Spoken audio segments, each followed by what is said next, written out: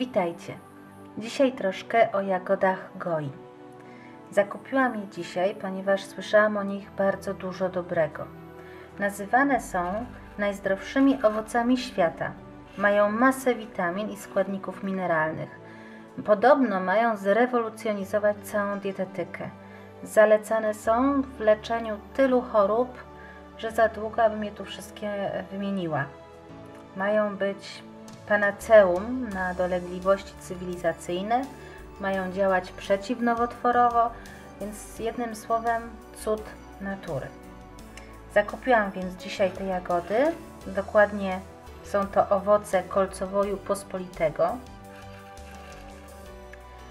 I postanowiłam dodawać je do codziennej owsianki. E, spróbowałam jeden na razie. Przypomina w smaku rodzynkę. Jest smaczny, miękki, mm, raczej słodki. No ale najpierw jeszcze usiadłam i zaczęłam dokładniej szukać więcej informacji o jagodach goi. No i przyznam Wam się, że to co znalazłam troszkę mnie zaskoczyło.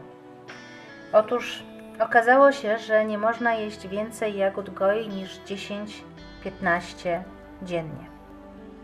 Spożycie większej ilości tych jagódek grozi zatruciem organizmu. Poza tym nie ma żadnych dowodów na jakiekolwiek lecznicze właściwości jagód. E, nie ma też dowodów, że zawierają one składniki, które wymieniają ich dystrybutorzy. E, co więcej, jedzenie jagód goi może spowodować poważne problemy gastrologiczne.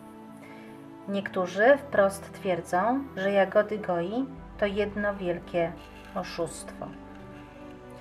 Tak więc przyznam Wam się, że teraz już sama nie wiem, czy włączyć jagody do codziennej diety, czy lepiej trzymać się od nich z daleka. E, może coś podpowiecie, bo muszę przyznać, że trochę się boję teraz je jeść. E, zastanawiam się, jakie jest Wasze zdanie. Może macie jakieś doświadczenie z jagodami goi. Ja na razie wstrzymam się z ich jedzeniem. Jedna jagódka wystarczy. E, więc póki co nie odradzam i nie polecam. Nie zachęcam do ich jedzenia.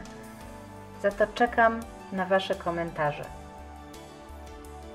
Zapraszam jednocześnie na mój blog ankagotuje.pl no i zapraszam do subskrypcji mojego kanału na YouTube. Pozdrawiam.